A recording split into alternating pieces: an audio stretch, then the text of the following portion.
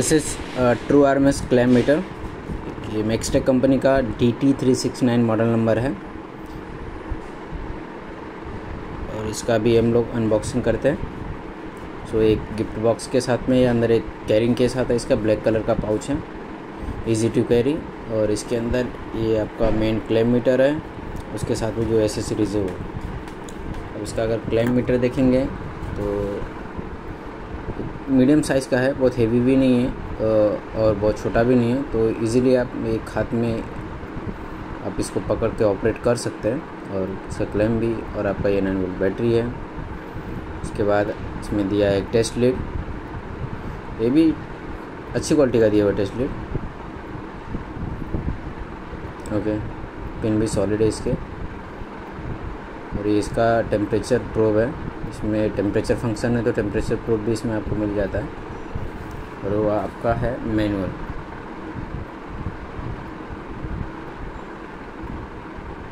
अभी इधर battery compartment में एक स्क्रू दिया हुआ है।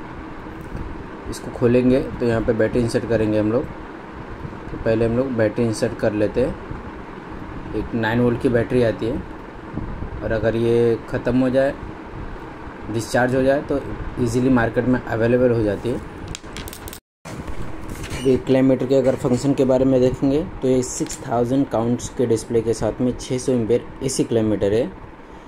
और इसका वोल्टेज जो है 600 सौ वोल्ट ए सी डी सी है। इसमें साथ में फिर आपको फ़ंक्शन मिल जाएगा रेजिस्टेंस का 60 मेगा तक चेक कर सकते हैं आप। Resistance capacitance six M M six milli तक का है। उसके बाद फ्रिक्वेंसी एटीन किलो का।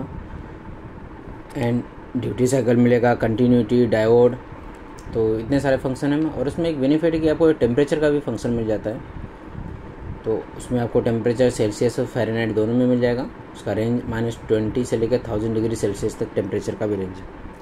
तो तक हमने बैटरी भी इंसर्ट कर लिया है और ये स्क्रू अभी फिक्स कर देंगे। तो अभी हमने ये फिक्स कर लिया स्क्रू और ये अभी ऑन करते हैं हमारा क्लेन मीटर ओके सो ये ऑन हो गया है। एक प्लास्टिक है, इसको रिमूव करते हैं। और देखिए डिस्प्ले के ऊपर जो राइट साइड में ऑरेंज कलर की बटन है, ये आपके बैकलाइट और होल्ड का बटन है। इसको प्रेस करके रहेंगे तो ऑन हो जाएगा डिस्प्ले लाइट और ये ऑन हो गया डिस्प्ले लाइट तो भी अच्छा फीचर कभी अंधेरे में या आप नाइट में यूज़ कर रहे हैं तो आपको डिस्प्ले ईजिली दिखता है। और ये पहला हमारा जो एम्पेयर के बाद वोल्टेज पे हमने रखा सेकेंड रेंज ये इसी डी वोल्टेज का है।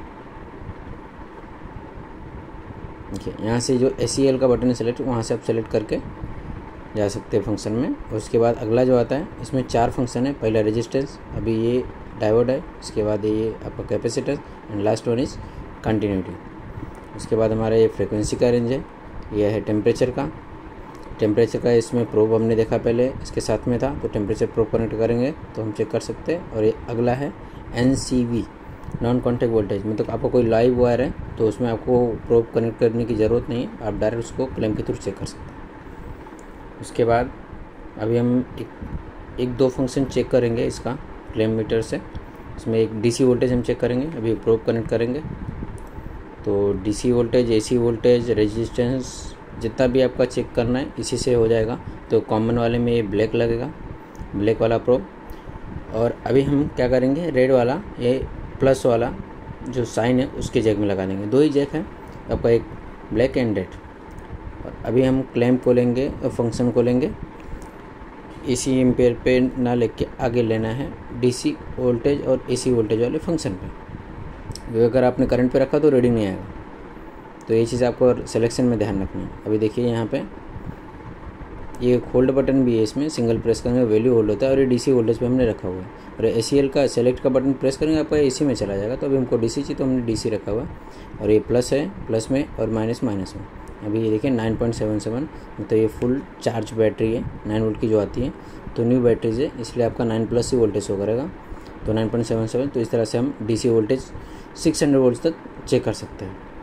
और अगला जो हमारा है, इसमें अगर कंटिन्यूटी का देखेंगे, ये सेलेक्ट का जो बटन है, उसी से आप सेलेक्ट कर सकते हैं। चार फ़ंक्शन है तो उसी से आप एक दूसरे फ़ंक्शन में जा सकते हैं। ये कंटिन्यूटी का रेंज है हमारा। आपको बीप साउंड आ रहा है, इसका। इस तरह से आपको कंटिन्यूटी और फिर बाकी जो फीचर है, उस हिसाब से जैसे टेम्परेचर है तो टेम्परेचर के लिए क्या करना पड़ेगा? आपको टेम्परेचर का यूज़ करना पड़ेगा। जो टेम्परेचर प्रोब हमको मीटर के साथ मिला हुआ है। तो टेम्परेचर का प्रोब अभी हम लोग कनेक्ट करके देख लेते हैं उसको भी। तो इसमें भी सेम है कनेक्शन दिया हुआ है।